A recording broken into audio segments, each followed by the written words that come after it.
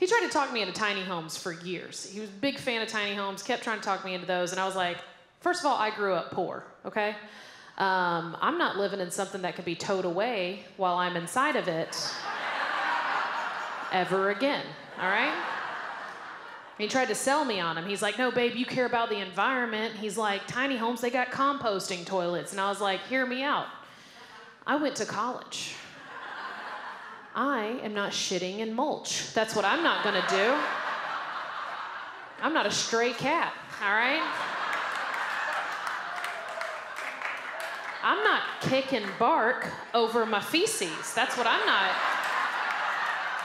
gonna be doing.